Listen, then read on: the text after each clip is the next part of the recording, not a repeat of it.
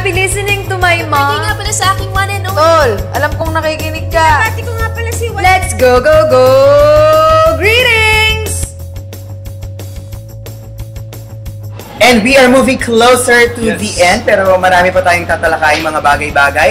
In the meantime, tayo muna sa Go Greetings. Mauna na ako. Alright, go Happy ahead, birthday, Linus! Yay! Happy birthday to you.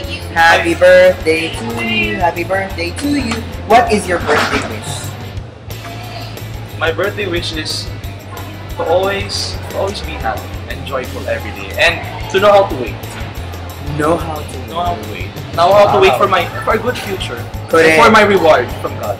Ay nako, you will be rewarded because Linus, you have been uh, blessed with so much, but you still Thanks, stay humble. Thank and you you, are, you know, you are still um, on your on your foot. You're still on the ground and uh, patuloy kang nag-ho ng sarili for Him. Wow, sir. Okay, sir. I'm, I'm just not used to hearing, you know, good, you know, good, uh, good statements about me. But anyway, of course, hindi lang naman ako ang magse-celebrate ng birthday. Meron na celebrate ng birthday noong November 4. It's Sir Chico's 21st birthday. Yeah. Happy birthday to Oh, you. Happy birthday to you. Happy birthday, happy birthday. Happy birthday. At kasama ko si Linus nung nag-celebrate, di ba, with my That's family. right, sir. Oo Alright, so maraming maraming salamat sa lahat ng mga bumati at sa lahat ng mga nagbigay ng kanilang mga prayers and wishes. That's right. Pero happy birthday din. Maunang mag-birthday sa'yo ang ating brad na si Janelle Valencia. Love na love ni Dana yan. Okay, Yeah, Dana's boyfriend. Hindi ba naman? Ay, hindi pa. Okay, okay.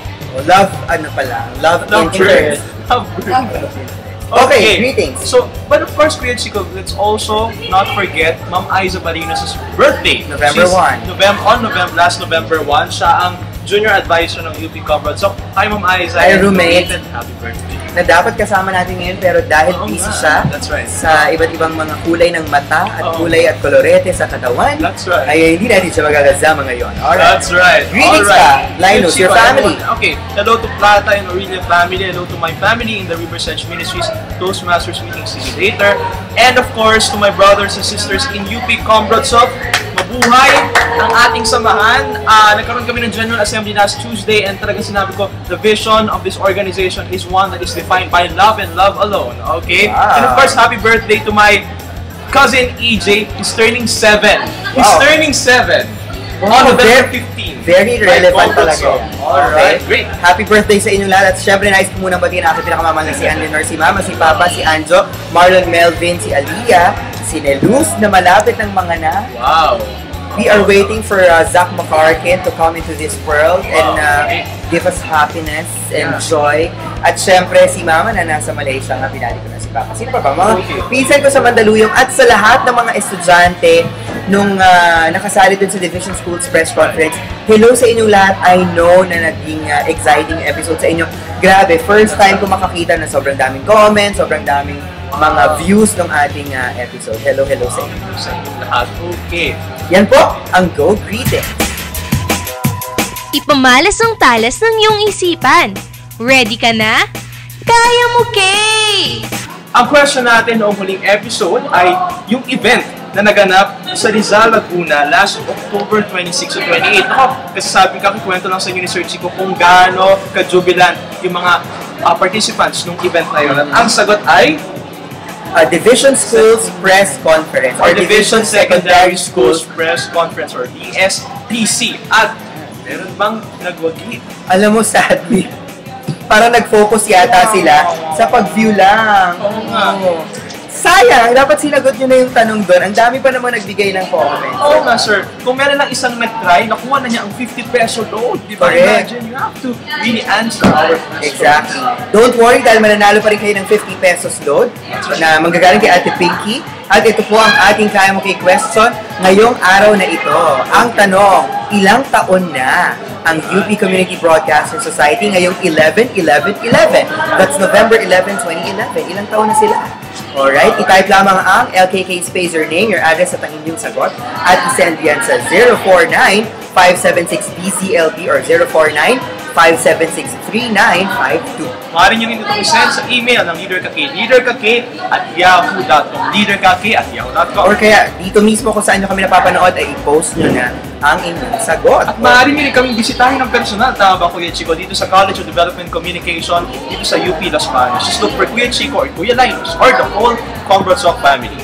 Okay, yan po ang Kaya Mo King. Leader Cafe!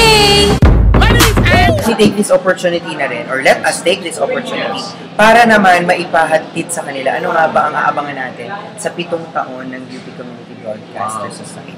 That's right. Alam mo Kuya Chico, no, hindi na kaila sa atin na tayong dalawa ay talagang intertwined na sa family ito. Nakapigkis na ang puso natin sa UP Comfort. So kaya, ah, let me just ask you Kuya Chico, no, before we get to the activities that we're going to implement, you know, for the rest of the year. Kuya Chico, one of, you told me before, nung nag apply pa kami sa Comrade so, no, uh, one of the reasons for your staying here in the university is because of this organization. Expound.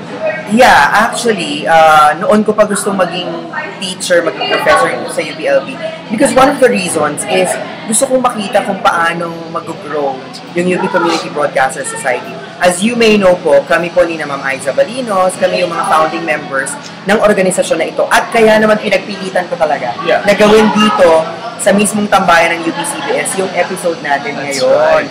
Kasi nga, very special, 11, 11, 11. Yeah. We are seven years Yeah. And it's just nice to be back here. Naalala ko pa, nung ako ay undergrad, dito ako natutulog. Talagang ang table namin, hindi pa ganyan kakinis na nakikita nyo ngayon.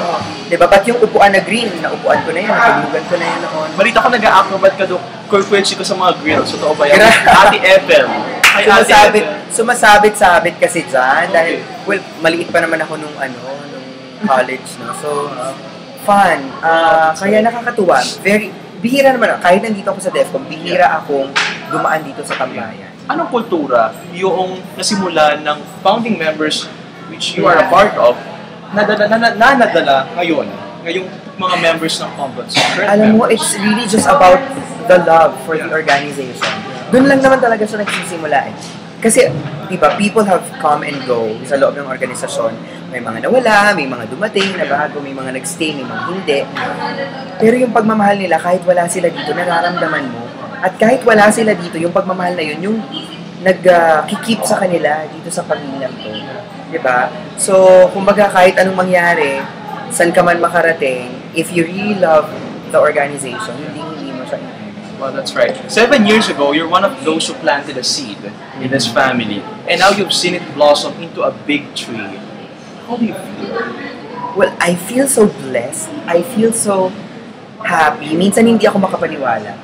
Minsan naiiyak pa rin ako kapag nakikita ko na, oh my God, naggagawa na nila yon Na parang pag binabalikan namin yung mga lumang mga pinagagagawa namin nun sa CBS na parang, imagine kami ni Aiza, di ba nagkukwentuhan kami, parang dati ganun lang tayo, pero ngayon look at them. Yeah. Ang dami-dami nyo na, ang gagaling nyo pa lahat. Di ba? So parang wala talagang ah, itatapon. At lahat ng mga estudyante na nagnanais na maging parte nitong organisasyon na to, for sure, they they have they will have only the best That's dito right. sa UP Congress. The best. Ikaw naman, Oh, yes. ano anong nararamdaman mo na espesyal itong taon na ibinigay sa iyo bilang chief anchor ng Congress?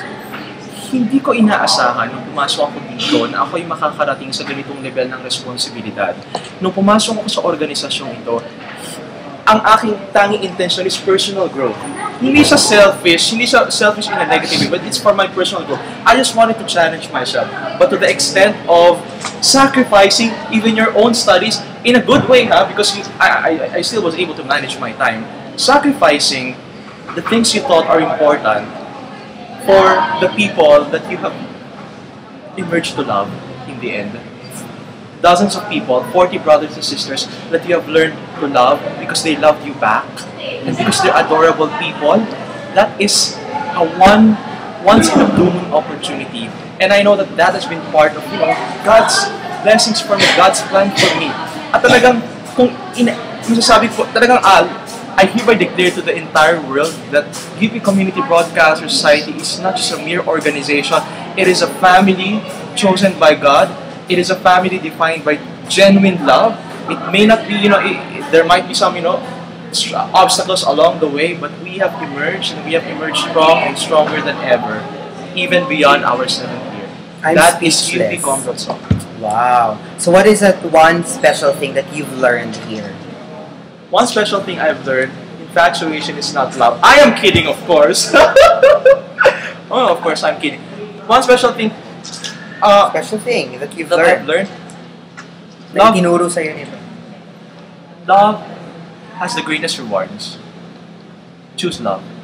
Wow. Choose love. CBS is love. Alright. CBS is love. Wow. So, with that, let's greet each other happy 7th anniversary.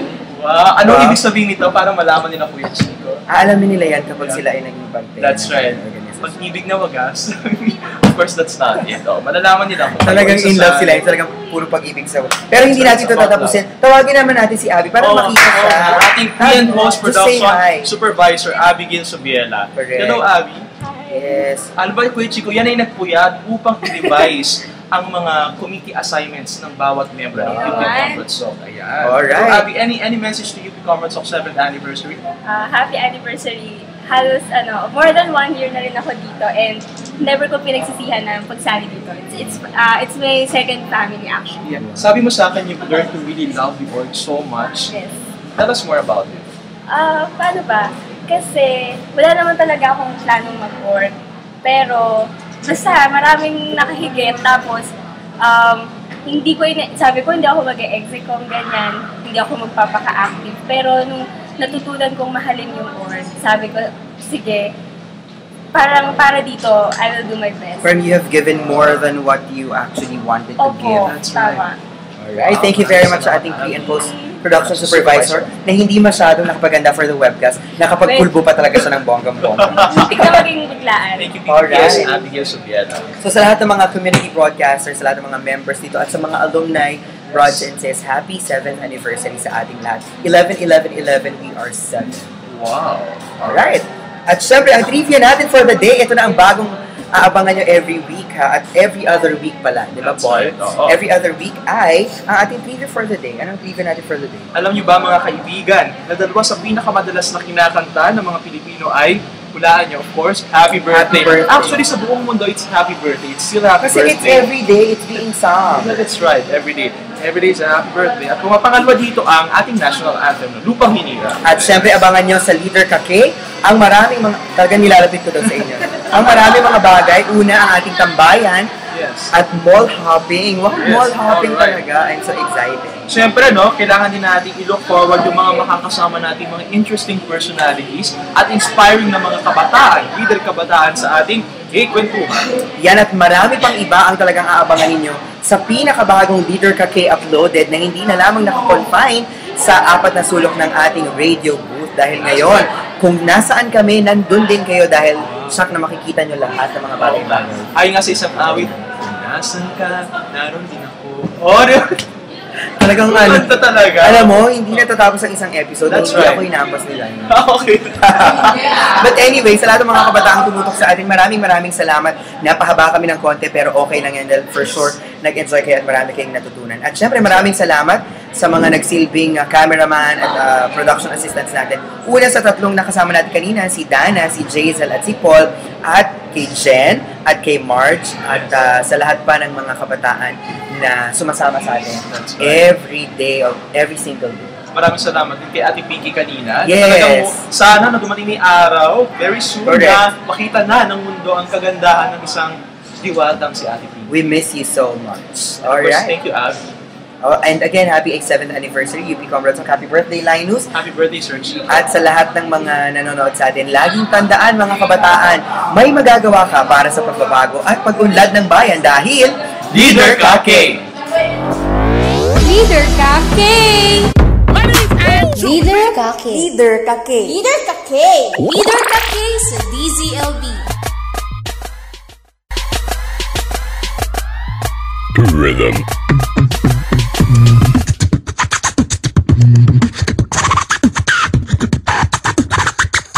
Sound trip.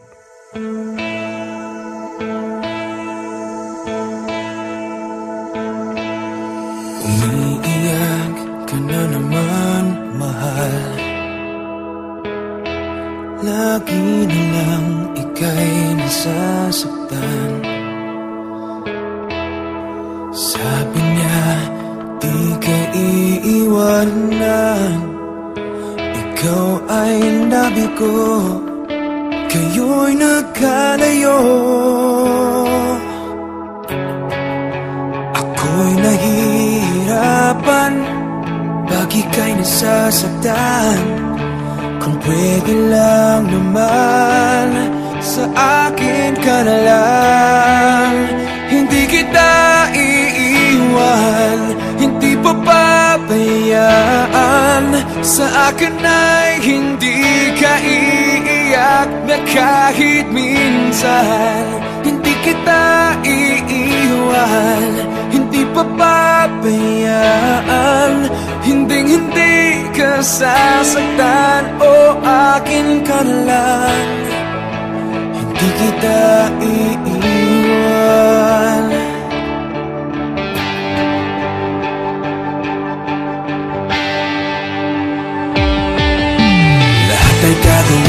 pag ika'y nagpasa akin. Lahat ng utos mo ay aking susundin.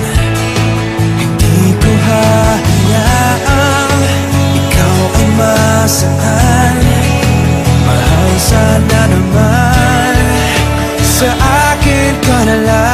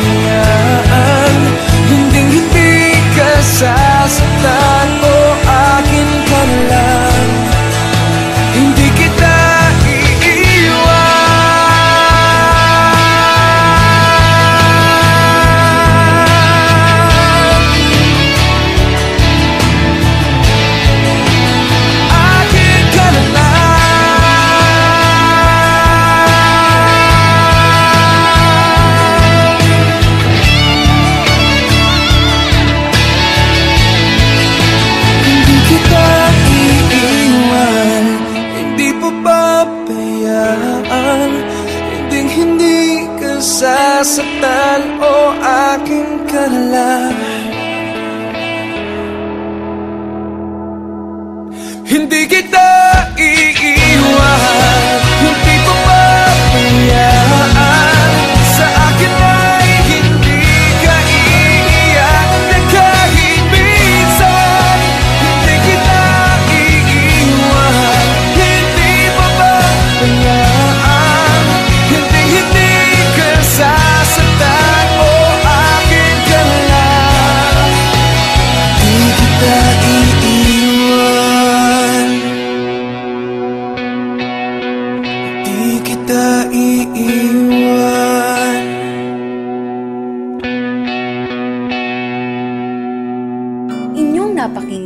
programa ng mga kabataan. Leader KK, hatid sa inyo ng Youth Development Affairs Office ng Laguna, College of Development Communication at UP Community Broadcaster Society.